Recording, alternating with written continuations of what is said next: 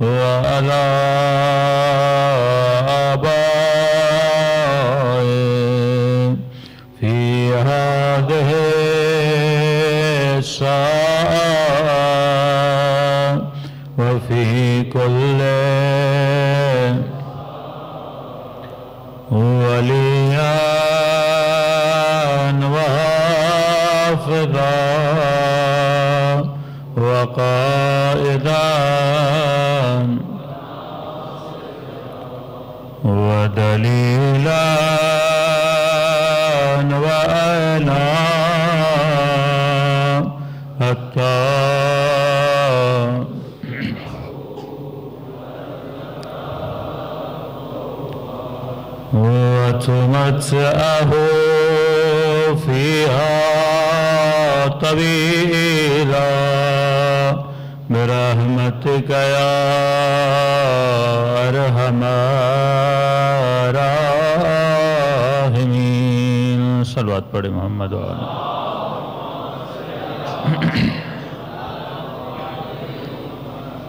बसमीम रबशरहली सदरी वयसरली अमरी वाहलुलदानी यफ़ू कौली। अम्माबाद फ़कत काल सुबहान वाली फ़ी महकम किताब बसमीम कुल्ला अजरन मवदत फ़िलक़ुरबा सलवात पढ़े मोहम्मद वाल मोहम्मद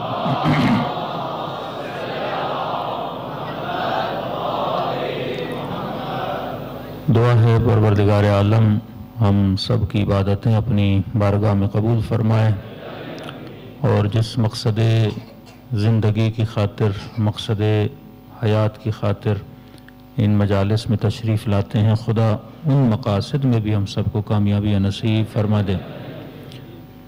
कुरान मजीद की बहुत ही मशहूर और मरूफ आयत। हर आयत कुरानी में अल्लाह ने इंसान के लिए कोई ना कोई पैगाम रखा है। लेकिन लफ्ज़ है इंसान के लिए। वो इंसान जो साहिब अक्ल है, वो इंसान जो साहिब हमत है। अगर बंदा साहिब हिकमत न हो, साहिब अक्ल न हो तो ये कुरान उसके लिए खसारा है। लेकिन अगर साहिब अक्ल हो तो ये कुरान उसके लिए बायस हिदायत है। तो असल जिस चीज़ को हमने समझना है, वो अपनी अकूल को मज़बूत करना है। जब तक उकूल मज़बूत नहीं होंगी, तब तक कुरान से हम कोई फ़ायदा नहीं ले सकते। मुसलमान बहुत गुजरे, लेकिन हिदायत उन मुसलमानों को मिली जो साहिबान हिकमत थे। करबला का वाकया सदियों से पढ़ा जा रहा है, लेकिन करबला के वाक़े से हमने क्या सीखा, उम्मत ने क्या सीखा? या सैदा की शहादत हर साल मनाई जा रही है लेकिन इस हजत इलाही से उम्मत ने कौन सा दर्श लिया? कई वाकयात आपके सामने हजत को तमाम करते हैं। मसलन आपसे पूछा जाए कि करबला में किस शहीद की शहादत ने उम्मत के लिए हजत को तमाम किया? शहदा तो बहुत हैं, हबीब इबन मदाहिर भी शहीद हैं, जनाब कासिम भी शहीद हैं। खुद वजूद इमाम हुसैन से बड़ी कोई शहादत नहीं हो सकती। लेकिन उलमा फरमाते हैं, किस शहादत ने उम्मत के लिए हजत को तमाम किया? मतलब एक ऐसी शहादत जिसके बाद जो जहन में शक है, शुभा है, वो सारी चीज़ें सामने खुल के आ जाती हैं। तो फरमाते वो एक ही शहीद की शहादत है, जिसने उम्मत के लिए हुज्जत को तमाम कर दिया। यानी उस शहादत को अगर करबला के मैदान से निकाल दिया जाए तो शायद हुज्जत तमाम ना हो। लेकिन यह शहादत ऐसी है जिसने हर बंदे पे हजत को तमाम कर दिया कि ये लोग जो इमाम हुसैन के मुकाबले में आए थे, इनके दिलों में बोगज कितना था, नफरत कितनी थी, इनाद कितना था। हो सकता है अगर किसी बड़े की शहादत है तो यह बोला जाए, दो लोग बड़े आपस में लड़े थे और एक ने एक को मार दिया। लेकिन मेरे मासूम फरमाते हैं कि एक शहादत ने हुज्जत को तमाम किया। कमोला वो कौन सी शहादत है? फरमाए वो शहादत है शहादत अली असगर। हाँ? इस शहादत ने उम्मत पे हुज्जत को तमाम कर दिया। कि ये मसला हुकूमत का नहीं है, ये मसला दुश्मनी का है, ये मसला बोगज का है। तभी आल सऊद ने एक क्लिप निकाला, जिसमें यह दिखाया गया कि मसलन 40 तीर चले हैं करबला के मैदान की तरफ़ और उन 40 तीरों में से एक तीर इत्तफाकन जनाब अली असगर के गले पे जाकर लगाए। ये साबित करने की कोशिश की कि शहादत अली असगर एक प्री प्लान शहादत नहीं थी। तीर चले और इतफाकन मसलन गोलियाँ चली इतफाकन एक गोली किसी बच्चे को लग गई हादसा है। इस बात का आज भी वो सराहतन कोशिश करते इनकार करने का कि मसलन हुरमला ने बेरखस तीर उठाया था। और जनाब अली असगर के गले पे तीर को लगाया था। ये कि इमाम हुसैन ने खून को अपने चुल्लू में जमा किया था और वो जुमले जो इमाम हुसैन ने कहे, उन जुमलों का रब्त है वाक़ जनाब सैदा फातिमा तो जहरा से कि खून को उठाते हैं, फरमाते नाना रसूल खुदा, मैं कुछ लोगों की आपकी खिदमत में शिकायत करूँगा। अगर वो न होते, आज मेरे हाथों में असगर का खून न होता। हा? हर मुसीबत की कोई ना कोई इब्तदा होती है। हर वाक़े की कोई ना कोई इब्तदा होती है। इसी तरह जनाब सैदा की जो शहादत है, ये भी हुज्जत को उम्मत पे तमाम कर देती है। यानी इस बेअत वाले मसाले में अगर हज़रत अली शहीद हो जाते, हुज्जत तमाम ना होती। हसन हुसैन शहीद हो जाते, हुज्जत तमाम न होती। लोग बोलते, हसन हुसैन कौन है? अली के बेटे हैं। अली कौन है? हुकूमत के मसाइल हैं। बड़े बड़े अकाबरीन उम्मत बड़े बड़े असहाब उम्मत, आप देखते हैं शहीद हो गए।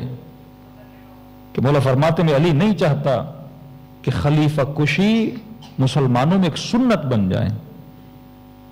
आप तीसरी खिलाफत के वाकत जब पढ़ेंगे तारीख में तीसरे खलीफे को किस तरह कत्ल किया गया? इमाम हसन हुसैन को हज़रत अली नबी तालिब ने दिफा के लिए भेजा। यहाँ तक फरमाते हैं कि तलवारें चल रही थी, इमाम हसन हुसैन इतने दिफा में आए। किसी ने कहा कि या अली, आप अपने लखते जिगर को भेज रहे हैं। कि इमाम ने फरमाया, मैं नहीं चाहता उम्मत में यह रस्म बन जाए। कि हर खलीफे को क्या किया जाए? कत्ल कर दिया जाए। मसला बकाए उम्मत का है। कितने अकाबरी ने साहब आप इस खिलाफतों के दौरान देखते हैं, कत्ल कर दिए गए। और अगर इस वाक़े में मौला अली शहीद हो जाते, हुज्जत तमाम न होती। इस वाकई में इमाम हसन हुसैन को कुछ हो जाता उज्जत तमाम न होती। लेकिन जहाँ पे नबी की बेटी का नाम आए, इस बीबी को हर कोई जानता है। इस बीबी के मकाम से हर कोई वाकिफ है। पूरा मदीना जानता है कि सैयदा फातिमा जहरा का मकाम कितना बुलंद है। जिनकी फजीलत में जितनी हादीस है मुतफ़िन अलई हैं। वो ये हो कि फातिमा तुम बजा तुम मिन्नी, मेरे जिगर का टुकड़ा है। या ये जुमले हों कि जिसने मेरी बेटी को अजियत दी, या जिससे मेरी बेटी नाराज़ है, उससे मैं नाराज़ हूँ जिससे मैं नाराज़ हूँ, उससे खुदा नाराज़ है। इसके राज़ी होने से खुदा राज़ी होता है। और इसके नाराज़ होने से खुदा नाराज़ होता है। हर कुतुब अहल सुन्नत में रिवायतें मौजूद हैं। तो सबसे बड़ा काम जो सैदा ने किया, वो उम्मत पे हुज्जत को तमाम कर दिया। क्योंकि ये हुज्जत इलाही है। और उम्मत को यह सिखाया कि अगर तेरे इमाम जमाना पर कोई बात चीज़ आ जाए तो ये ट्रेनिंग दे रही है कि हुज्जत इलाही के लिए खून देने से भी गुरेज न करना। तेरे इमाम की बात आ जाए तो दिफा इमाम में हर चीज़ से गुजर जाना। क्योंकि यही वाद इलाही है और वही तरबियत सैदा की तरबियत इंतकाल पाती है किसमें सैदा जैनब में। कि फरमाते हैं, अगर सैदा जहरा को और इमाम अलीब नबी तालिब की तरबियत का मजमू किसी एक शख्स में पाया जाता है, वो सैदा जैनब सलाम है। औरत होने के एतबार से हम शक्ल सैदा हैं। खुतबा देती हैं कूफे की बाज़ार में तो लोगों को लगता है कि अली कर गुफ्तगु कर रहे हैं। एक रंग अली इब्न अबी तालिब का, एक रंग सैदा फातिमा तो जहरा का। तो बीवी ने किसको तमाम किया? हुज्जत को तमाम किया। लेकिन इस मसले को अगर हमने बयान भी करना है तो बयान वही कर सकता है जो साहिब हिकमत हो। कि मौलाना जो बलागा में फरमाते हैं कि मेरे गले में हड्डी है और आँखों में कांटा है। अली करे तो क्या करे? अगर तलवार उठाता हूँ तो दीन इस्लाम के टुकड़े टुकड़े बन जाते हैं और ये अली को खौफ है कि अरब अपनी जाहिलियत की तरफ़ पलट के न चला जाए। मसाला जात का नहीं है, मसाला दीन का है। अक्सर ये सवाल उठे कि अली ने अपने दिफा में तलवार क्यों नहीं उठाई? ये मिसालें दी जाए कि हमारे दर पे कोई आ जाए तो हम बाहर निकल के आ जाए तो अली बाहर क्यों नहीं निकले? जब तुम खुद को अली जैसा समझोगे, जब फ़िक्र ये करोगे कि जो मेरा रिएक्शन है, वही रिएक्शन मसलन अली नबी तालिब का होना चाहिए। जो मेरा रिएक्शन है, मसलन वही रिएक्शन रसूल खुदा का होना चाहिए। ऐसे तो अगर हमें कोई गाली दे तो हम पलट के चार देते हैं। हमें एक पत्थर मारे तो शायद हम ईंटें मारना शुरू हो जाएँ। लेकिन ये मुस्तफ़ा का किरदार है, पत्थर बरस रहे थे, लेकिन बदुआ तक जबान से न दी हाँ? कभी इस तरह कंपेयर न किया करो। अकले कुल का रिएक्शन और होता है। साहिब इलम का रिएक्शन और होता है। जाहिल का रिएक्शन और होता है। ये तारीख में बार बार आपको जो फजाइल अली सुनाए जाते हैं कि मसलन जरबत इबादत सकलैन। अली की एक जरबत इबादत सकलैन जफजल है। भाई क्यों एक जरबत इबादत सकलैन जफजल है? क्योंकि सारी जरबतों में जात की मोहब्बत शामिल है। अली की जरबत में सिर्फ़ खुदा की मोहब्बत शामिल है। हाँ।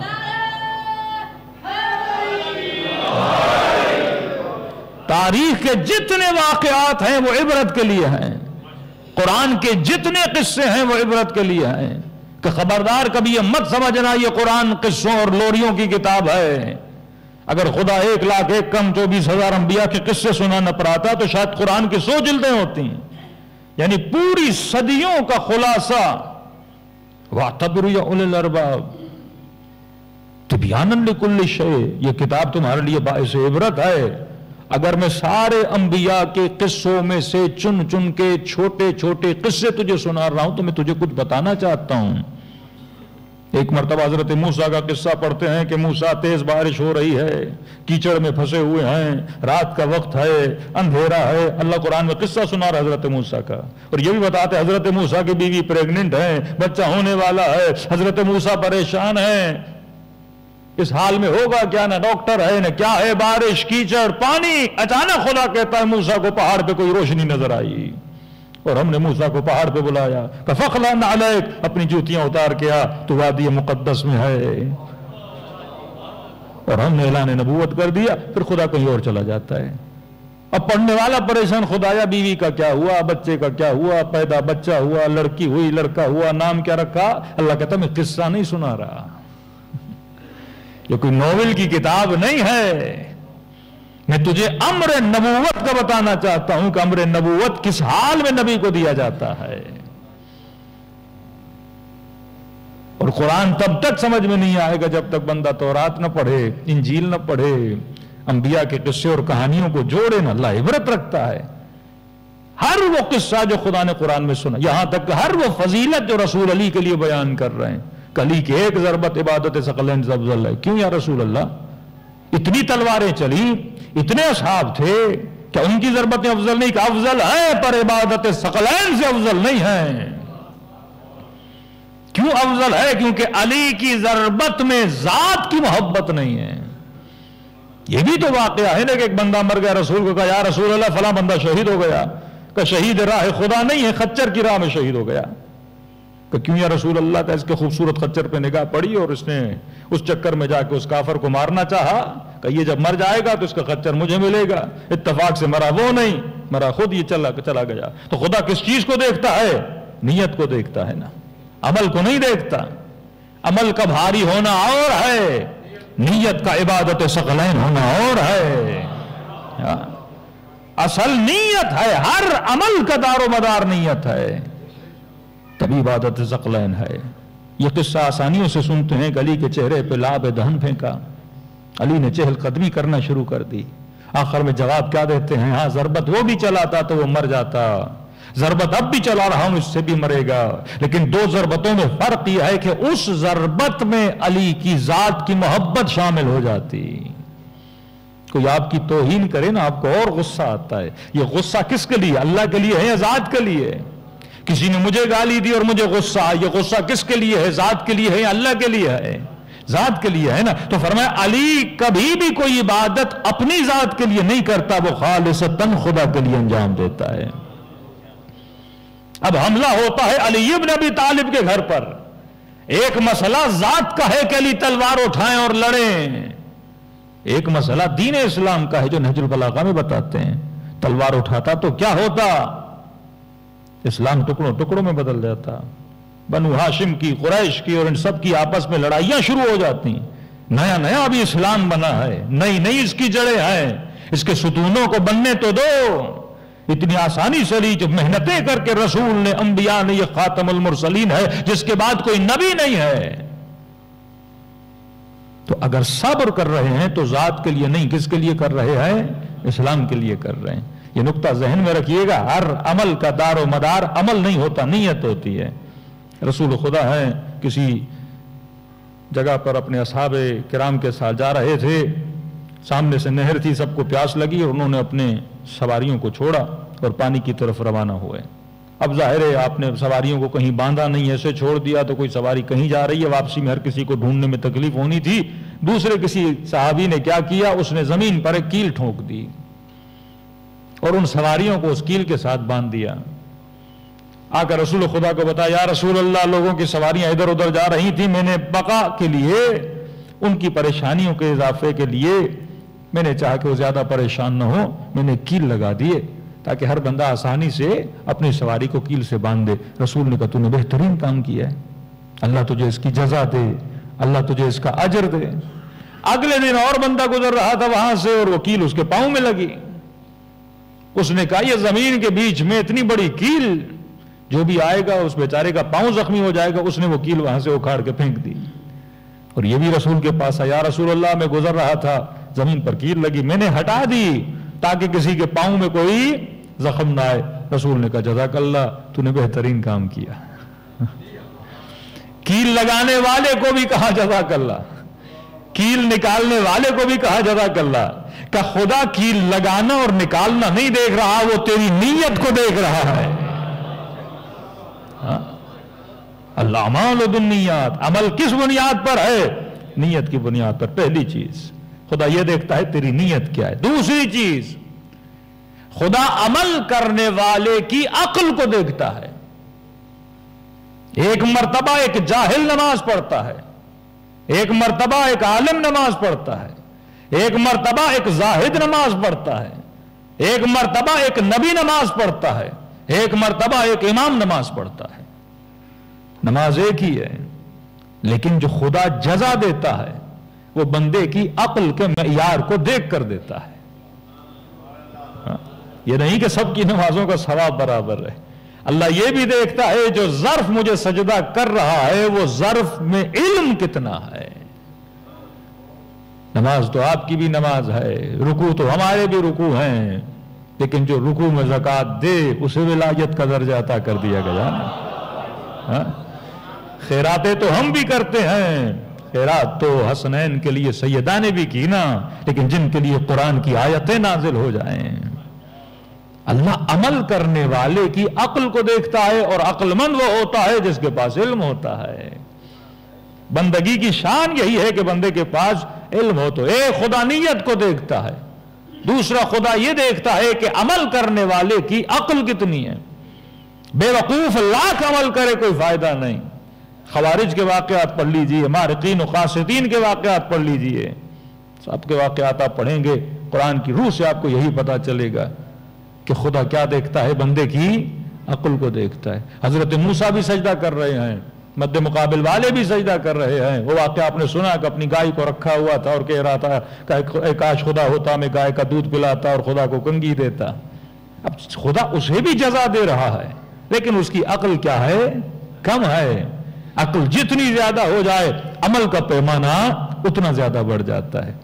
तीसरी चीज़, नीयत को देखता है, बंदे की अकल को देखता है। तीसरा यह देखता है, उस बंदे की अकल में हिकमत कितनी है? साहिब, हिकमत है कि नहीं है? नेजों पे कुरान चढ़ा, उम्मत तकसीम हो गई।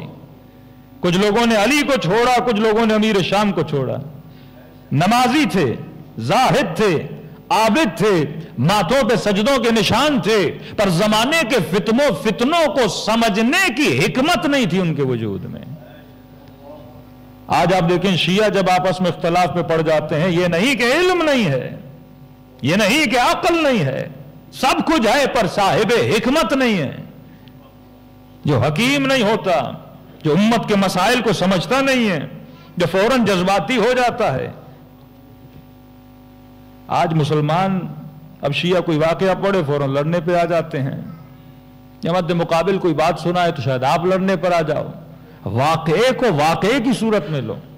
ये देखो, ये जो तारीख का वाकया है, मसलन करबला का वाकया है, जनाब सैदा की फदक का वाकया है, भाई इससे आपने क्या सीखा? इससे आपको क्या इबरत मिली? इससे आपने क्या हिकमत सीखी? अगर तू साहिब हिकमत नहीं है तो कुछ भी नहीं है। मैं छोटी सी आपको मिसाल दूँ, मसलन इस्लाम का हुक्म है, अलगीबत व शब्द में जना गीबत जना से, कत्ल से बुरी बीमारी है। लेकिन वही इस्लाम कहता है, कई जगहों पे गीबत जायज़ भी है। हिकमत को देखते हुए ना, हुक्म बदल गया।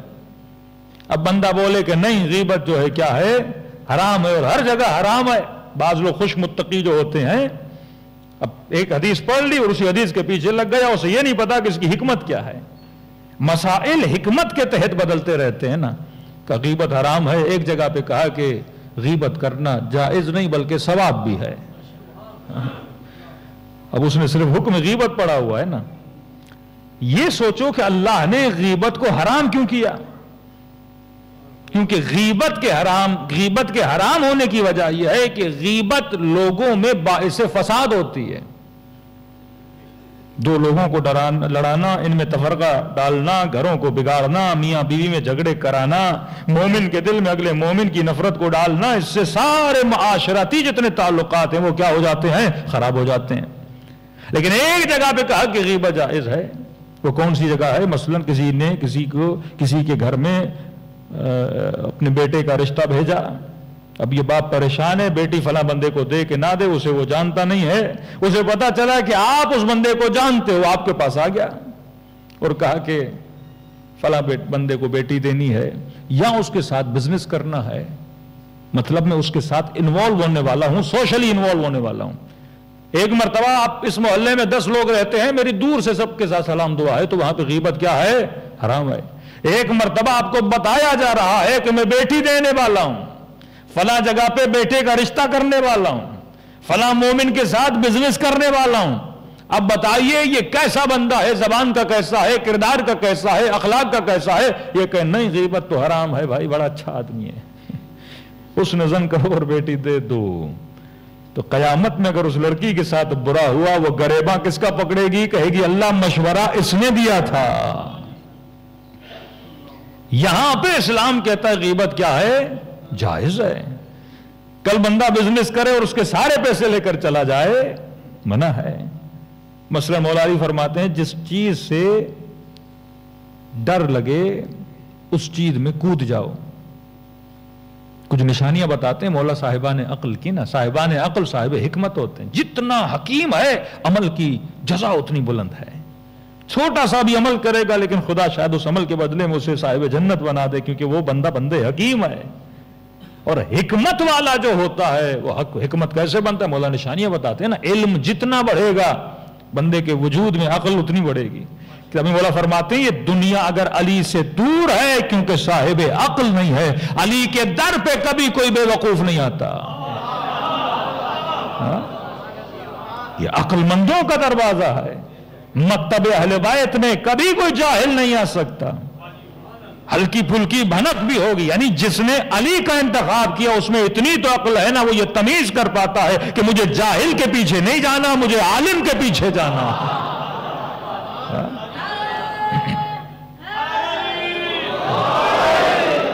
ये सिलेक्शन आपकी बताती है आप आखिल हो या जाहिल हो। आप किसी होटल में जाते हो, किसी रेस्टोरेंट में जाते हो, चार जॉब्स की ऑफ़र होती है आपको, चार रिश्तों की ऑफ़र होती है आपको। यहाँ से आपकी अकल का पता चलता है। चार रिश्ते आ गए, आपने किससे शादी की? ये अकल बताती है ना, बंदे की सिलेक्शन क्या है? चार स्कूल में बच्चों की दाखिला करवानी है सिलेक्शन कौन सी है? कौन सा बिज़नेस करना है सिलेक्शन कौन सी है? किससे दोस्ती करनी है सिलेक्शन कौन सी है? तुम्हारी सिलेक्शन बताती है कि तुम्हारा अकल क्या है ना? तो ये कहे कि मैंने अपना इमाम अली को मनाया, इसकी सिलेक्शन बता रही है, ये कितना अक्लमंद है। जब माने अब सहुरजाल फिल अरब, हसब बेहतरीन, नसब बेहतरीन, बाब मदीनतुल इल्म, सबको एक दूसरे का भाई बनाया, अली को अपना भाई बनाया हा? ये भी मानते हैं, सैयदा के लिए रिश्ते और भी आए, सबको ठुकराया, अली को अपनाया हा? ये फजीलत की बात है ना किस बुनियाद पे या रिश्तेदारियाँ तो नहीं चल रही ना रिश्ते आ रहे हैं, लेकिन अपनाया अली इब्न तालिब को वो शुजात की बात हो फसाद की बात हो। मतलब आपने जो सिलेक्शन की, ये सिलेक्शन बताती है कि बंदा क्या है? साहिब अकल, इब्तदाई बुनियाद पर। अब जब अक्ल बढ़ती है तो ज़िंदगी में कामयाबी आती है। अब जब अक्ल बढ़ती है तो बंदा हकीम बनता है। परेशान हमेशा ज़िंदगी में वो होता है जिसने ज़िंदगी में गलत फैसले किए होते हैं। वो फैसला दीन का हो, वो फैसला मज़हब का हो, वो फैसला इमाम के चुनने का हो, वो फैसला ज़िंदगी गुजारने का हो। जब फैसले गलत हो जाते हैं तो ज़िंदगी में सुकून चला जाता है। लेकिन जब फैसले बेहतरीन हो, मुसीबत बड़ी से बड़ी आ जाए तो जुमला एक ही है सैयदा जैनब के जुमले पर कि मार रहा है तो इल्ला जमीला जैनब ने हुसन के अलावा कुछ भी नहीं देखा। पछतावा नहीं है कि जैनब बाज़ार में खड़ी है। शराबी की दरबार में खड़ी है।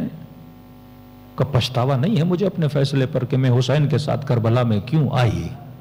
हमने वो किया जो हमें करना था। तूने वो किया जिससे तेरी जात ज़ाहिर होती है, तेरी तरबियत ज़ाहिर होती है। अखलाक है ना, एक अखलाक इलाही है, एक अखलाक शैतानी है। हर बंदा अपने अखलाक से बताता है कि मैं रहमान का मानने वाला हूँ या शैतान का मानने वाला हूँ। तो फरमाया, नीयत। नीयत के बाद बंदे का साहिब अक्ल होना, साहिब अक्ल होने के बाद बंदे का हकीम होना, ये दर्जात हैं। पहला दर्जा हिकमत है।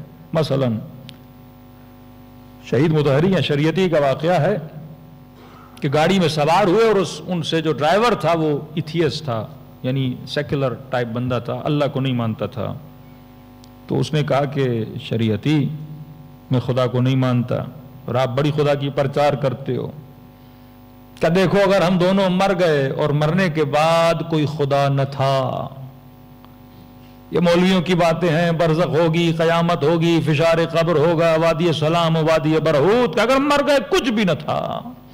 बस आए एक मच्छर की तरह दुनिया में ज़िंदगी जी, और मरने के बाद कुछ भी नहीं था। का शरीयती फिर तो तू घाटे में है। मैंने तो सारे मज़े लूट लिए। हाँ? तुम इस डर के चक्कर में कोई कयामत है, कोई जहन्नुम है, कोई हिसाब किताब है, तूने दुनिया से तो कोई मज़े नहीं लूटे। मैंने तो सारे मज़े लूट लिए मैंने कहा, ना, अक्लमंद क्या होता है? हकीम होता है। और साहिब हिकमत की एक निशानी यह है, वो ज़िंदगी में एहतमाल जरर ज़रूर देता है। सुनिए जवाब इनका। इन्होंने कहा, ठीक है, ड्राइवर साहब, आप सच कह रहे हैं। फ़र्क यह है, मज़े आपने थोड़े ज़्यादा लूटे हैं और ऐसा भी नहीं कि शरीयती ने कोई मज़ा नहीं लूटा। हर वो मज़ा जो खुदा ने मेरे लिए हलाल करार दिया, उसे मैंने लिया है। खाना तू भी खाता है, खाना मैं भी खाता हूँ। फ़र्क यह है कि शायद मैं बकरी का खाऊं तो सुअर का खा ले। मैंने खुद को थोड़ा हदूद में रखा है। शरबत में भी पीता हूँ, शरबत तू भी पीता है। फ़र्क यह है, तू थोड़ी नशे वाली पी लेता है। हम विदाउट नशे वाली पी लेते हैं। लज्जत निकाह मैंने भी ली, लज्जत निकाह तूने भी ली। फ़र्क यह है, मैंने खुद को हदूद में रखा है। तूने अपने लिए कोई हद नहीं रखी। लिबास तेरे बदन पर भी है, लिबास मेरे बदन पर भी है। मैं थोड़ा कंट्रोल्ड होकर इस दुनिया में ज़िंदगी जी रहा हूँ। ऐसा नहीं कि मज़े मैंने नहीं लिए, सुकून मेरी ज़िंदगी में भी है। उसने कहा, तू सच कह रहा है, अगर हम दोनों मर गए, और मरने के बाद कुछ न था तो न तू नुकसान में, न मैं नुकसान में। तू भी जिया, मैं भी जिया, तूने भी खाया, मैंने भी खाया, तू भी घूमा, मैं भी घूमा। फ़र्क यह है तू थोड़ा आज़ाद किस्म का था, मैंने खुद को हदूद में रखा हुआ था। लेकिन कहा ड्राइवर, ये बता, अगर दोनों मर गए और कुछ था, कोई कयामत थी, कोई खुदा था, कोई जहन्नुम थी, कोई जन्नत थी, फिर शरीयती फ़ायदे ही फ़ायदे में है और तू घाटे ही घाटे में है।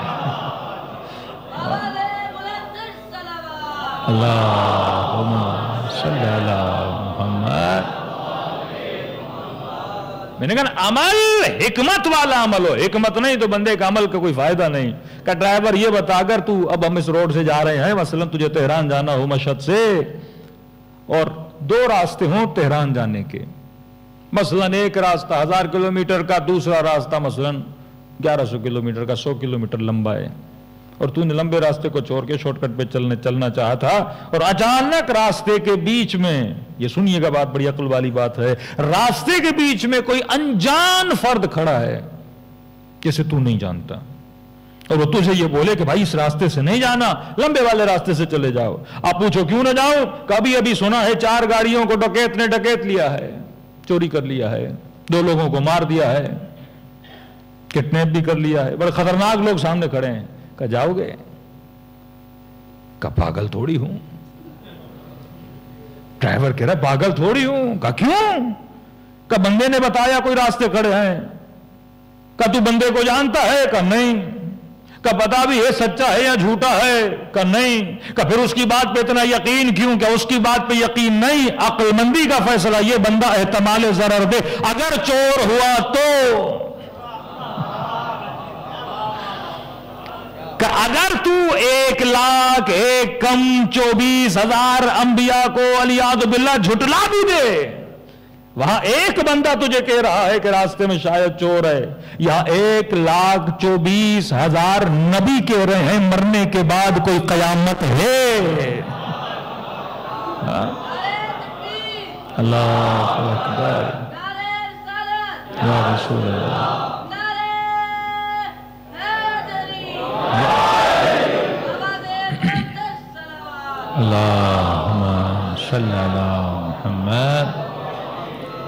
मतलब बंदा नबियों को ना भी माने। एक बंदा अल्लाह मैं कहता हूँ, नबी को ना भी माने, उसकी सदाकत को भी ना माने, किसी बात को। लेकिन एक लाख बंदे आके एक ही बात करें। एक लाख चौबीस हज़ार बंदे एक ही बात करें कि खुदा एक है, जहन्नुम है। कयामत है, कब्र है, का एहतमाल जरर नहीं दोगे? का गाड़ी के लिए एहतमाल जरर है, पर आखिरत के लिए एहतमाल जरर नहीं। कब बता अक्लमंद तू है या अक्लमंद मैं हूँ? तभी मौला ने कहा, बेवकूफ़ कभी अली वाला। नहीं होता। अक्लमंद ही इस दर अली नबी तालिब पर आता है। अक्लमंद ही आबिद होता है। अक्लमंद ही खुदा को सजदा करता है। तो इमाम ने फरमाया एक निशानी वो एहतमाल ज़रर देता है अब मिसालें दूँगा ताकि आप समझें कि हिकमत क्या होती है मसलन, मौला फरमाते हैं कि जिस चीज़ से डरो, ये सोल्यूशंस बता रहे हैं, हिकमत के जुमले अमीरुल मोमिनीन के फरमाते हैं, जिस चीज़ से डरो, उसमें कूद जाओ हम्म। अब मौला की जो मिसालें हैं, जो बयानात हैं, वो भी साहिबान अकल के लिए हैं, बेवकूफ़ के लिए नहीं हाँ? मसलन एक बंदा मुझे नहीं पता मुल्तान में ऊंचाई भी है कि नहीं है। मसलन किसी पहाड़ी पे चला जाए, किसी यहाँ से हम डेरा गाजी खान जाते हैं, बीच में पुल आती है, नीचे पानी है, और पुल पे खड़ा हो जाए और उसे डर लगे कि मौला अली ने कहा है कि डरो, कूद जाओ। हाँ। अब सीधी बात उसने पढ़ा है मौला अली का फरमान जिस चीज़ डर लगे, उसमें क्या हो जाओ? कूद जाओ। अब क्योंकि साहिब, हिकमत नहीं है ना।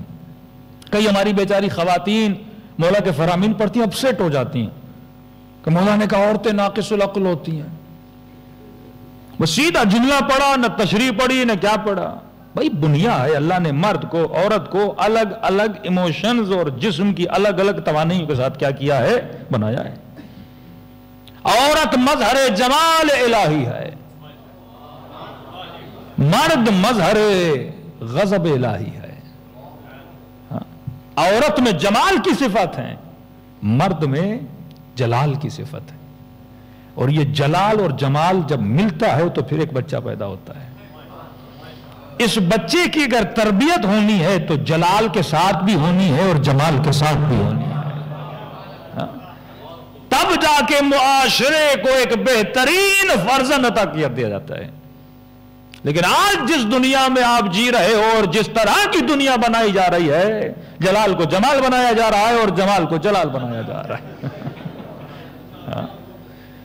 तो तरबियत क्या खाक की तरबियत रहेगी? हाँ? कई चीज़ें अल्लाह ने आपकी नेचर में रखी हैं, रुजू तो करी अपनी फितरत की तरफ़। हिदायत ऐसे अल्लाह ने फूट फूट के हिदायत इंसान में भर के रखी है। मिसाल दे रहा हूँ, ये टॉपिक नहीं है, लेकिन बात छिड़िए, मिसाल दे रहा हूँ। मसलन एक खातून को कैसा मर्द अच्छा लगता है? अब मासूम का फरमान है ना, उसमें गौर करो। औरत मजहर जमाल, मर्द मजहर जलाल। या मर्द को कैसी खातून अच्छी लगती है? वो फिजिकली हो या मेंटली हो?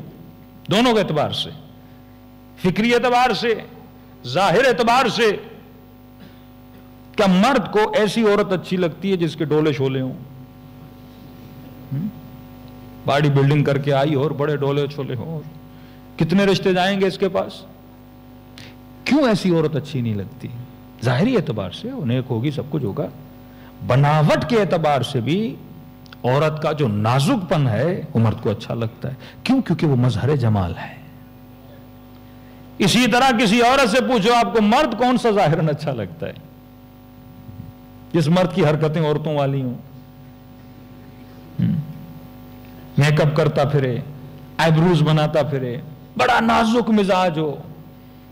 किसी भी औरत से पूछोगे, वो कहेंगे, हमें मर्द से शादी करनी है, इससे नहीं करनी। मर्द कौन होता है? मज़बूत हो। साहिब वकार हो। ज़ाहिर एतबार से भी, लहजे के एतबार से भी। छोटी सी मिसाल दूँ आपको। घर में घर की मिसाल दे रहा हूँ, घर में आपकी माँ से, आपकी बीवी से आप एक बोतल लेकर आए, कोई चीज़ लेकर आए, बाहर से वो खुल नहीं रही। हाँ। वो बेटी को नहीं देती, बेटे को बुलाती है। हाँ? अब फितरी मिसाल दे रहा हूँ, बेटे को देती है, बेटा ये खोल दो तो मेरे हाथ से खुल नहीं रही। अच्छा अगर उससे वो बोतल नहीं खुल रही, उसमें वो अपना ऐब नहीं मानती। समझे मैं कमज़ोर हूँ, अपना ऐब नहीं मानती। एक तस्लीम शुदा चीज़ है, बेटा मुझसे नहीं खुल रही। इतनी उम्र रसीदा माँ या बहन या बीवी हो, शोहर को बुलाती है, भाई को बुलाती है, बेटे को बुलाती है कि ये जरा खोल के दे दे। और ये भी जब खोलता है तो फिर इसके एक्सप्रेशन ऐसे होते हैं, बहुत बड़ा पहलवान वाला काम कर लिया इसने। हाँ? इंटरनली इतना खुश होता है, मैंने पता नहीं क्या कर दिया। क्यों? क्योंकि मर्द मजहरे जलाल इलाही है। इसे ही अच्छा लगता है, और वो माँ भी फख्र करती है ऐसे बेटे पर। न खोल सके तो माँ को बुरा लगता है। तू कैसा मर्द एक बोतल नहीं खोल पा रहा। हा? क्योंकि अल्लाह ने दोनों के अंदर अलग अलग मिजाज रखे अलग अलग सिफात रखी अपनी हिकमत की बुनियाद पर। अब बंदा अगर साहेब हिकमत ना हो तो ना अली की बात समझ में आएगी, ना खुदा की बात समझ में आएगी हाँ? इसको साहेब हिकमत होना चाहिए इमाम जिस चीज़ से डरो, उसमें कूद जाओ अब मौला का फरमान पड़ा, सीधा पुल से छलांग मार देगा, नीचे अली ने कहा था इमाम फरमाते, मैंने कहा कि जिस चीज़ से डर लगे, उसमें कूद जाओ, लेकिन अक्ल के दायरे के अंदर? मिसाल के तौर पे हम छोटे थे, ईरान में स्विमिंग नहीं आती थी, स्विमिंग पूल में चले गए। अब पानी को देख रहे हैं, डर लग रहा है। कोच कह रहा है, कूद जाओ। हम कह रहे नहीं भाई, आगे पानी है, कूदेंगे तो कहीं मर ना जाए। अब यहाँ पे बंदे की अक्ल होनी चाहिए और अली का फरमान यहाँ पे काम आएगा। अक्लमंदी का तकाजा यह है, जब तुम सारी चीज़ों को कैलकुलेट कर लेते हो कि मसलन पानी तीन फुट का है, चार फुट का है, अगर कूदूँगा भी तो डूबूँगा नहीं। एक कैलकुलेशन आपने कर दी। अगर थोड़ा गहरा भी है तो चार लोग खड़े हैं। कोच खड़ा है, भाई खड़े हैं, वालिद खड़े हैं। सारी कैलकुलेशन कर ली, फिर भी बंदा डर रहा है तो यह डर जो है, अकलानी डर नहीं है। सारी कैलकुलेशन के बाद भी अगर डर लग रहा है, उस डर में कोई अकल भी नहीं है। हर जगह से आपको सेफ़ पॉइंट नज़र आ रहा है। कि मसलन कूदूँगा, भाई बचा लेगा, फला निकाल लेगा, पानी इतना गहरा नहीं है। अब यहाँ पे अली फरमाते, अगर डर लगा है तो क्या करो? कूद जाओ। और जब हमने ये फरमान पड़ा कूद गए उस दिन के बाद पानी का डर क्या हो गया? खत्म हो गया। क्योंकि बंदा गिरेगा भी तो कोई क्या कर लेगा? बचा लेगा। मसलन हम नए नए लोग जब मौलवी बनते हैं तो मजलिस पढ़ने से बड़ा डरते हैं। हाँ? पाँच मिनट नहीं आते मजलिस पढ़ने। बंदे को कॉन्फिडेंस होना चाहिए। या यूनिवर्सिटी में कभी आपको बोला कि आप आके कोई लेक्चर दे दें चालीस स्टूडेंट के सामने कोई कॉन्फ्रेंस दे दें कोई आप अपनी आ, कोई रिसर्च वर्क है वो आके बयान कर दें तो बंदा क्या होता है? डरता है। अब ये डर अखलानी नहीं है। आपको पता है बोलूँगा तो क्या मजमा खा जाएगा? क्या तालब इलम पकड़ेंगे मारेंगे? कुछ भी नहीं है। ये ऐसा डर है जो फेक डर है। तभी फरमाया युवस्विसुफी सुदूर नास मिनल जिन्न थे वन्नास. शैतान के पास सिवाय डराने के कोई चीज़ नहीं है। अब अक्लमंद बंदा हो अली इब्न नबी तालिब जैसा, सलमान जैसा मालिक अश्तर जैसा वो क्यों डरेगा? क्योंकि साहेब अकल है। वो कहेगा वजूद अल्लाह के अलावा मेरे वजूद में कोई असर डालने वाला नहीं है। जिसके वजूद में शैतान असर डाले वो अल्लाह का बंदा नहीं है शैतान का बंदा है।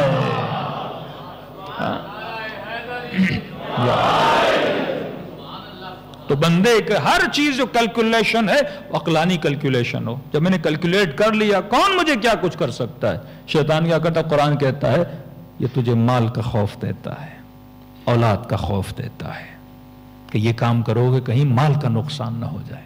ये काम करोगे कहीं औलाद का नुकसान ना हो जाए। अल्लाह कहता है, तेरे माल का मालिक भी मैं हूँ, तेरी औलाद का मालिक भी मैं हूँ। यानी पाँच मिनट के लिए सोचिए, अगर इमाम हुसैन इन चीज़ों की कैलकुलेशंस करते तो क्या करबला जाना चाहिए था?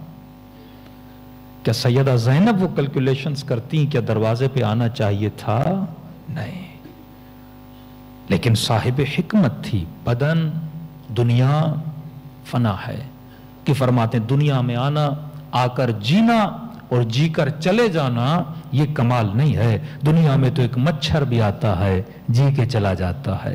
दुनिया में एक मक्खी भी आती है, जी के चली जाती है। दुनिया में आओ और ऐसे जियो जैसे अली इब्न अबी तालिब जिए थे।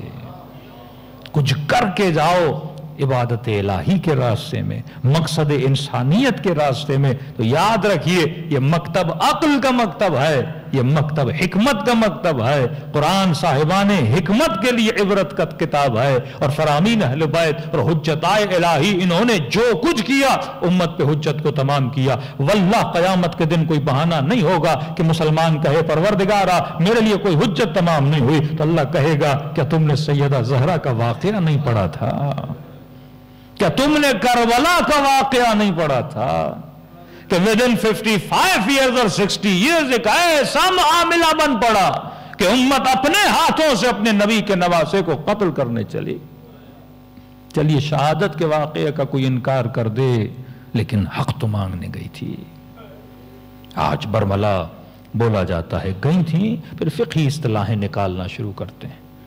सैयदा कुरान पे बात करने गई थी और मध्य मुकाबिल हदीस की बात कर रहे थे, लेकिन सवाल यह है कि बीबी गई तो थी? मकाम कितना बड़ा? हर इंसान किसी न किसी चीज़ से माशरे में पहचाना जाता है। हज़रत अली मशहूर थे बहादुरी से। इमाम हसन मशहूर थे माशरे में सखावत के नाम से।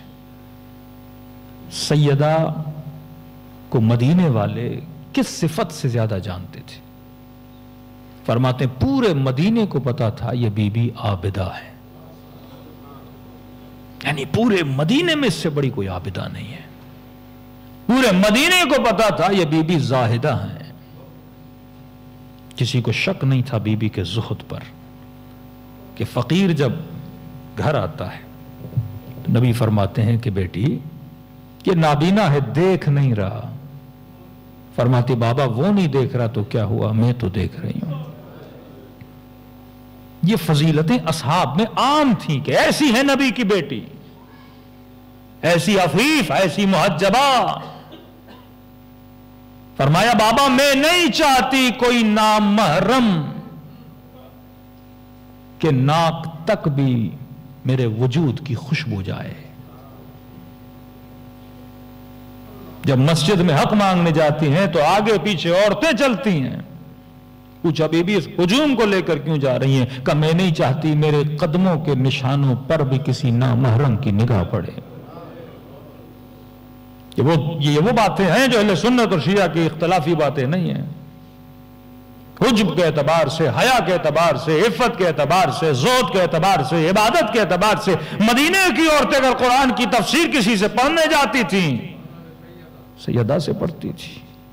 फिकी मसाइल अगर किसी से पूछने जाती थी, सैयदा से पूछने जाती थी, क्योंकि ये नबी की वो बेटी है जिनको डायरेक्ट तालीम दी है रसूल खुदा ने, जो असहाब को इतना कुछ सिखा गए कि अपनी बेटी को नहीं सिखाएँगे।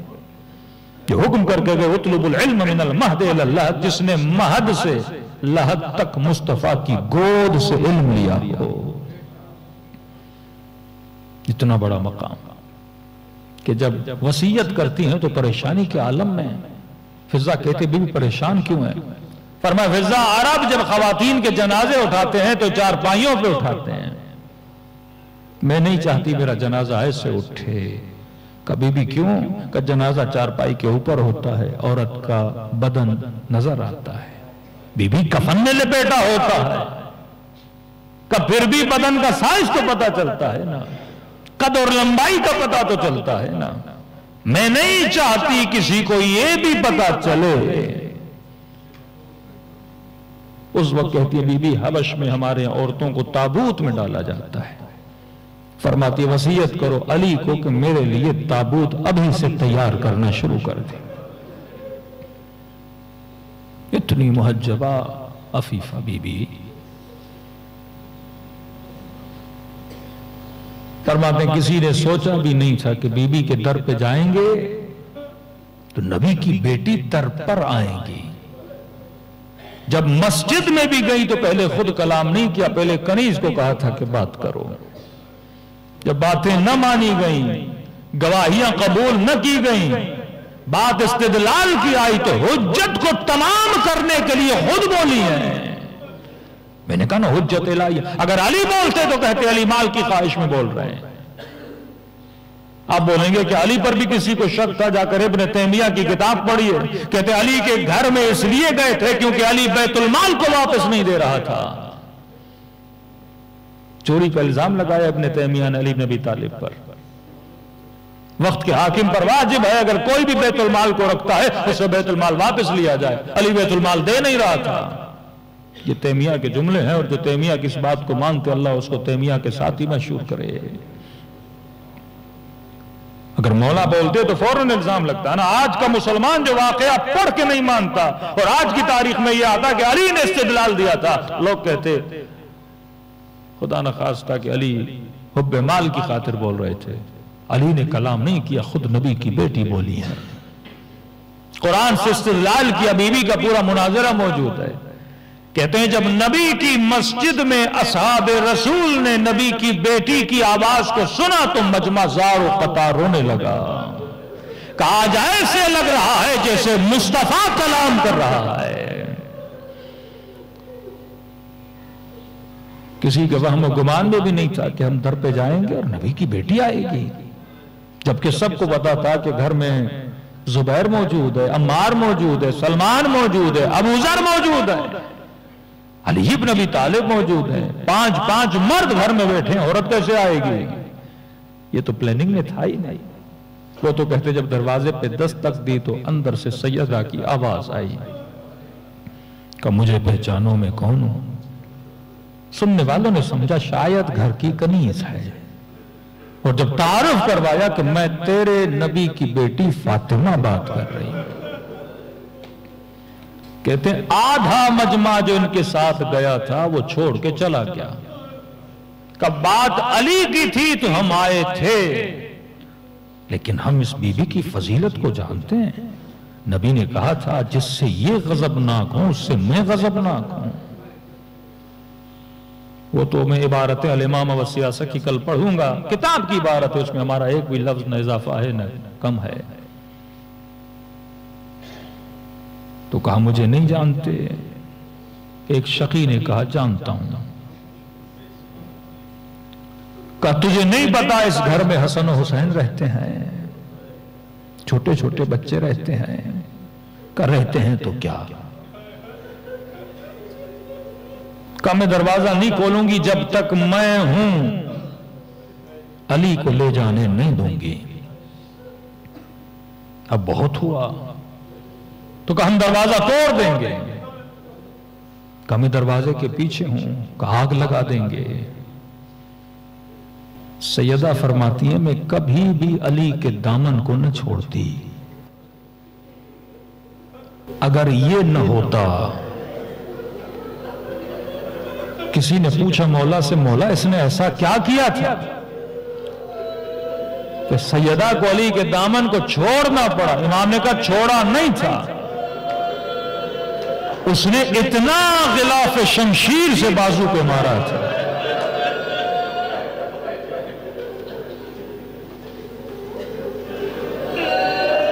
और जब ले जाने लगे तो ये सैयदा ने आवाज़ें बुलंद की जाते जाते भी मौला की फजीलत में, कि या अली खैर खैरी व शर्र खैरी। वो तो जानती थी लोगों को बता रही है कहे अली जो तुझे ले जा रहे हैं ये सुन ले कि अली तेरा खैर जहरा का खैर है। अगला जुमला बड़ा अजीब है साहिबान हिकमत के लिए अली तेरा शर जहरा के लिए खैर है। मतलब समझाना क्या चाहती है कि अली के वजूद में शर है ही नहीं अली खैर ही खैर है। और इमाम हसन इसी शख्स के लिए बोलते हैं। साहबी ने कहा कि मौला, आप लंबे लंबे रास्ते लेते हैं, मस्जिद बड़ी करीब है। इस गली से चलिए ना मस्जिद में, ये तो तारीख आल रसूल है। ये किताबें किसी शियों ने नहीं लिखी, अहल बैत रसूल की तारीख तो पढ़ो, कितने बच्चे थे, कहाँ कहाँ शहीद हुए, किस, किसने शहीद किए? उन्होंने क्या जज्बात का इजहार किया अपनी वालदा मोहतरमा के लिए? इमाम फरमाते, नहीं, इस रास्ते से मैं कभी नहीं गया। मोला नज़दीक है, चलिए का नहीं। इस गली में उसका घर है जिसने अम्मा को मारा था। जब जब इसके चेहरे को देखता हूँ, अम्मा का जख्मी बाजू मुझे याद आ जाता है। तभी मेरे छठे इमाम फरमाते, हम हर मुसीबत बर्दाश्त करते पर दादी जहरा की मुसीबत हमसे बर्दाश्त नहीं तभी इमाम रजा फरमाते हैं, शियो, छोटी छोटी बातों के लिए हमें टूटी हुई पसलियों का वास्ता न दिया गया। मना किया गया है, हर छोटी हाजत के लिए इतना बड़ा वास्ता न दिया गया।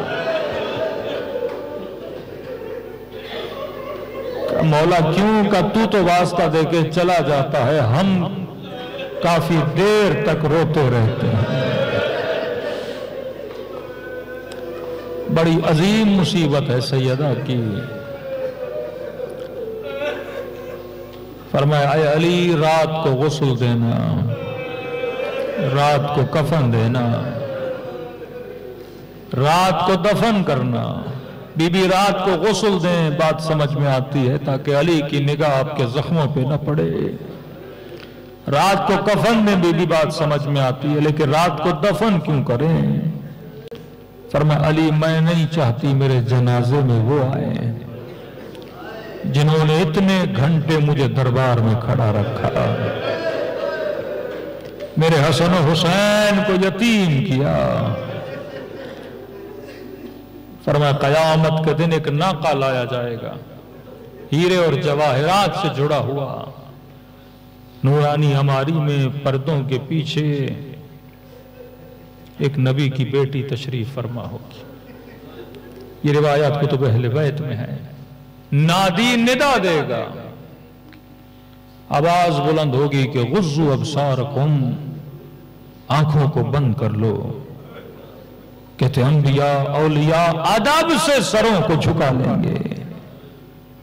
मौला, कौन है इस नाके में का हमारी दादी जहरा इस नाके के अंदर हो?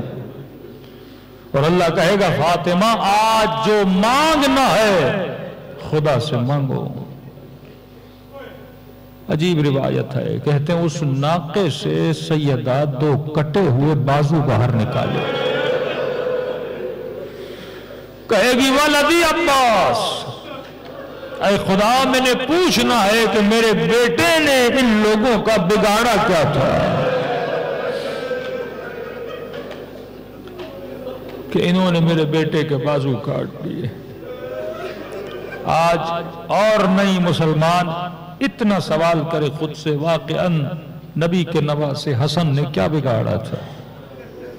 जिगर के टुकड़े बाहर आ गए। जनाजे पे धीर जलाए गए। हुसैन ने क्या बिगाड़ा था उम्मत का कि सर को काट के नो के नेजा पे रख दिया गया। जिन होठों को नबी चूमा करते थे, जालिम छड़ी से होठों को मारता रहा। एक एक नवासगान रसूल के किस्से और मुसीबतें, अगर सवाल करे उम्मत खुद से वल्ला हुज्जत तमाम हो जाती है। फरमाया खुलू से दिल से हमें सलाम किया करो। कहा कि कयामत में हर आँख रोती है, पर दो आँखें कभी नहीं रोती। एक वो आँख जो अपने गुनाहों पर रोए, दूसरी वो आँख जो आले रसूल की गुर्बत पे रोए। यहाँ तक मेरे छठे बाप फरमाते, अभी तू रोया नहीं, तू रोना चाहता है। फरमा तुम सबके सरों के पीछे मेरी दादी जहरा खड़ी हो जाए दुआ के लिए हाथों को बुलंद कर दिया है। खुदा, ये मेरे हुसैन का आजादार है। तस्वुर करो जो माँ बेटे की मजलिस में आती है। क्या उस माँ की मजलिस में बेटे नहीं आते होंगे? क्या इन मजालिस में इमाम जमाना नहीं आते होंगे? दिलों को करबला लेकर चलें। सलाम करें आज इमाम हुसैन की यतीमी पर।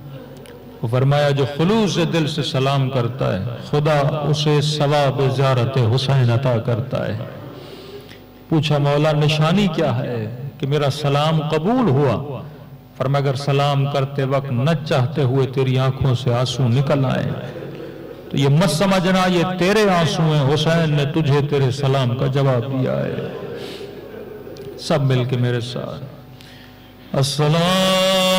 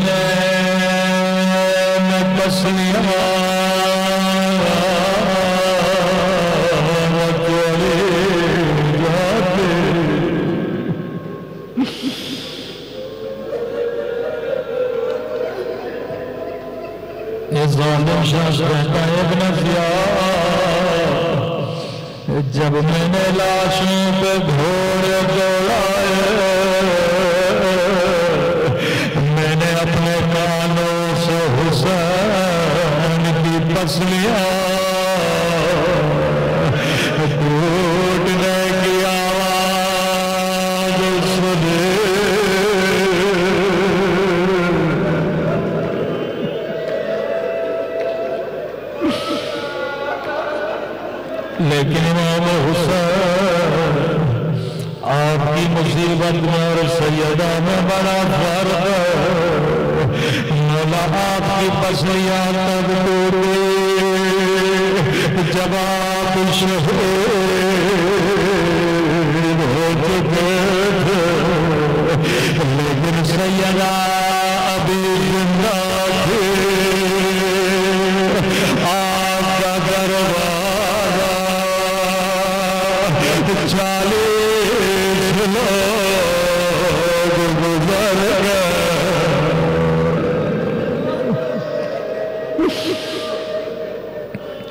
खुदा की कसम,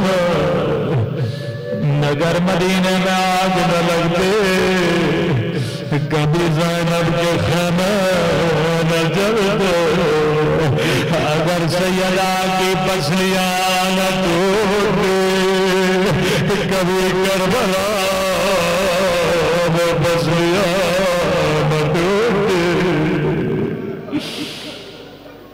अगर मदीने में अली के हाथों में रसिया न बाँध जाते कभी दूसरे की बाज़ार में जैनब के हाथों में रसिया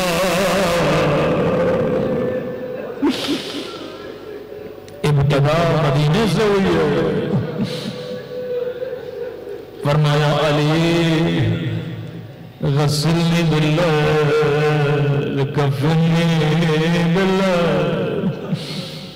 इमाम ने फरमाया, असमा बच्चों को कहो आहिस्ता रोए असमा कहती है, बच्चों ने तमीजों को दांतों में जकड़ लिया। कहीं कोई बच्चों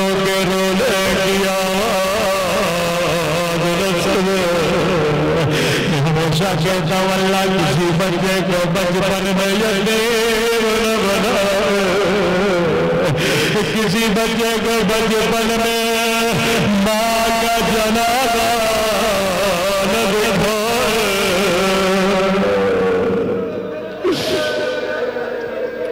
औलाद के लिए बड़ा मुश्किल होता है वालदेन के जनाजों को देखना ये कैफियत मनाली के घर के बच्चे कमीजों को दांतों में जकड़ा कहीं कहीं बच्चों के रोने की आवाज़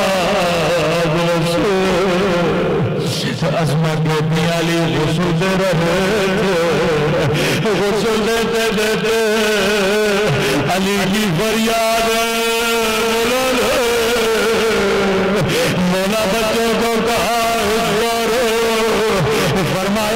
फरमाया असमा मैंने वो बस लिया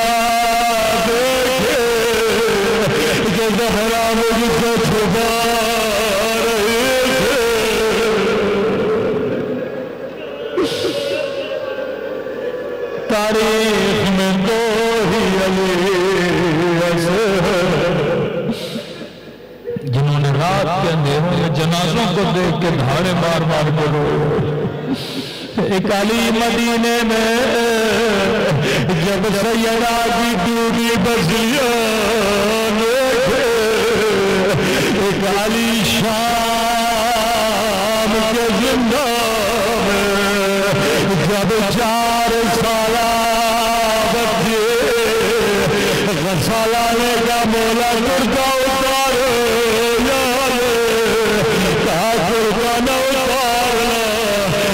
बदल से खून जारी हो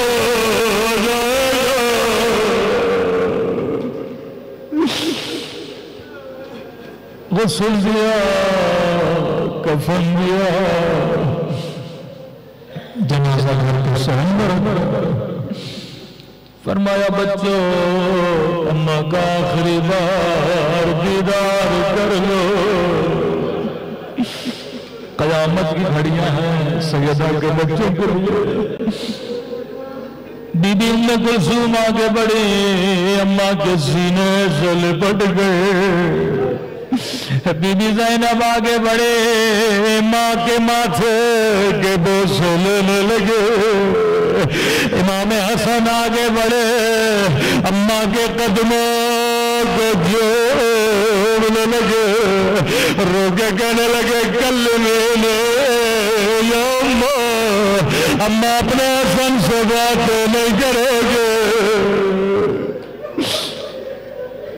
लेकिन असमा कहती है, एक बच्चा था जो सबसे छोटा था। घुटने में सर को दे के जारो कतार बच्चा आगे न बढ़ा मौलाने का हुसैन, माँ से खुदा फिर करो। रो के कहने लगे, बाबा, जब तक अम्मा नहीं मिला तो मैं नहीं जाऊँगा।